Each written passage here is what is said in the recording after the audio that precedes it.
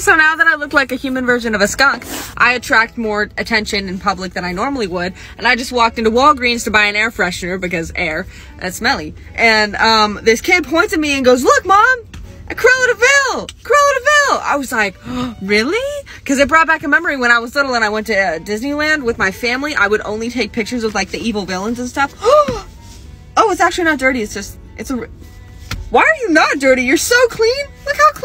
I promise it's just the shading. Wow. Wow.